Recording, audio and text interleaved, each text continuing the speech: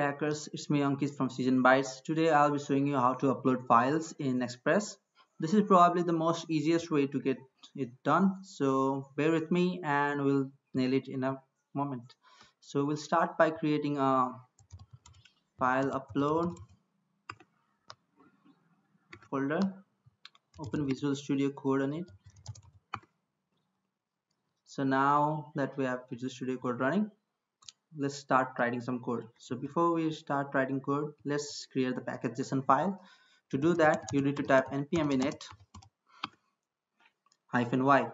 So now that we have a package.json let's get the dependencies. So npm install express express file upload.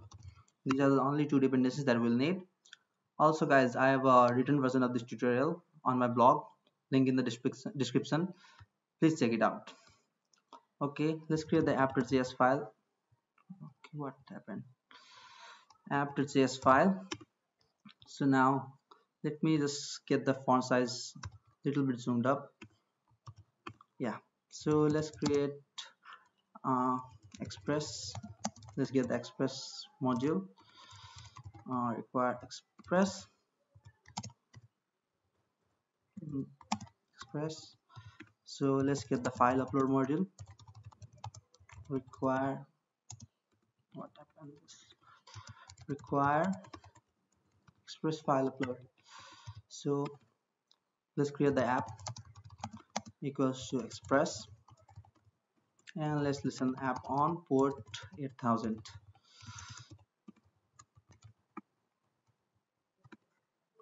uh, console log server listening on port 8000 so to get this app file upload functionality we need to add a couple of middlewares to the app. So first middleware will be app.get uh, app.use express.json this just allows json support to be added to the request. So this is first. So next one is u url unencoded extended true. Uh, this is for nested objects. Probably we don't need it right now but I add it anyway. So next one we'll be adding the file upload middleware file upload and that's it. Now we'll get whenever a file is uploaded we'll get it on request.files dot file or whatever field name you put it on your form. So now we have it ready. So let's listen us sample endpoint. Uh, request response. This dot send hello. So let's check it. So the start nodemon app.js and let's see if it works. So node no localhost 8000 and we get hello so since our sample endpoint is working let's start getting the file upload endpoint set up so app.post slash upload we'll need a request response error function. Now let's get the file from the request. So const file equals request dot files dot file. So let's get the file name from the file file name equal to file dot name. Let's get the size of the file. Const size equal to file dot data dot length. So let's get the extension. Extension equal to so to get the extension from the file name we need to import a native module. Const path equal to require path so the path module has a function called extend uh, path dot extension name. We pass it the file name and it will give return us the extension. So we need to test whether it's a valid extension or not. So to do that we'll be using regular expression. If you haven't watched my previous video on regular expression i suggest that you do. So let's set up the regular expression for this.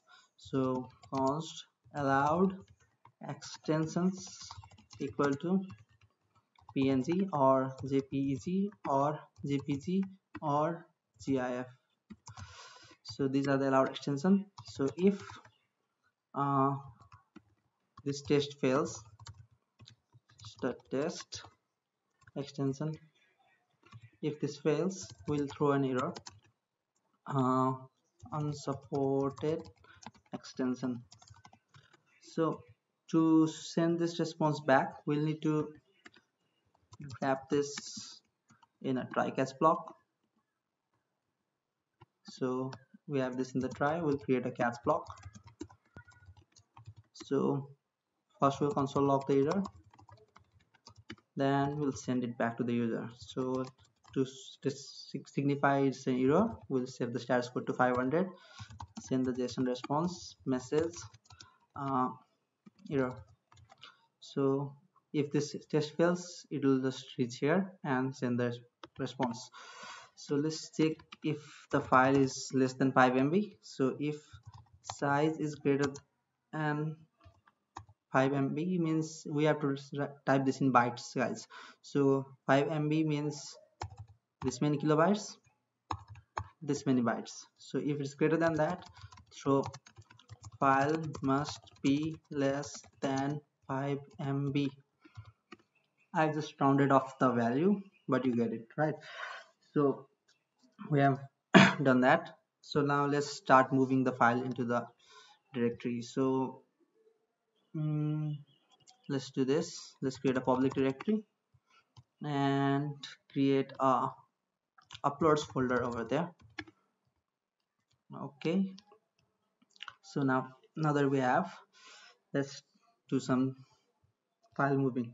So first we'll get the hash of the file. So md5 equal to file dot md5 so we are using this hash as a file name because if you upload the same image twice it won't be two different files. It will be the same file since we are using hashes so the url could be url will be uh, slash uploads slash uh, plus md5 plus the extension. So this is the url so now we'll let's try moving the file. So moving the file is a callback function. So we want would like to oh yeah. Let's make this function await async function. Let's let's await for the file upload. So let's make this async function and import a util from the native module. Require util. Uh, what this util will do is this will uh, this is a callback function like file dot move and directory. And here we'll have an error or something like this. So this is a callback function but let's convert it into a promise.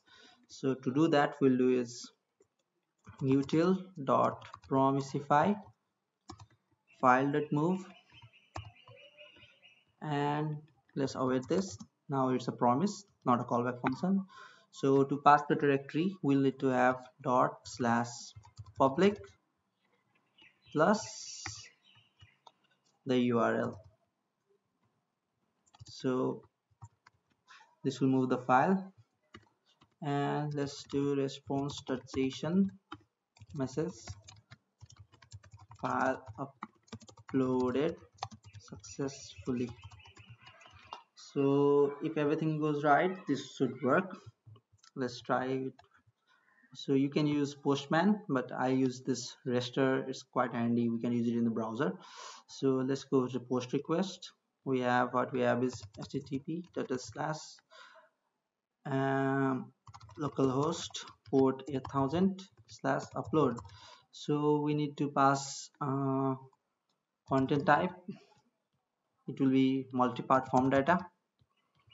And on the body we'll write file. This file is for this request dot files. If you write here x xyz you should write xyz here too. So let's keep it file. So value type is file. Let's uh, upload this uh, avatar.png so yeah let's send it. Okay file upload successfully. You can see this. So how do we access this file now? So the thing is uh, let's add a URL as well. In the response so let's upload it again. So since we are using hashes we don't get two files for the same file. Um, it's quite handy if you want to save space on storage. So now to get access that file we'll need to uh, create a static folder. app.use express dot static dot slash public. And this is all we need so copy this url go to localhost 8000 and voila there you have it. Uh, yeah if you want to get this code it's on my blog link in the description. Also guys recommend more content so that I can keep continuing video and satisfy you. Thanks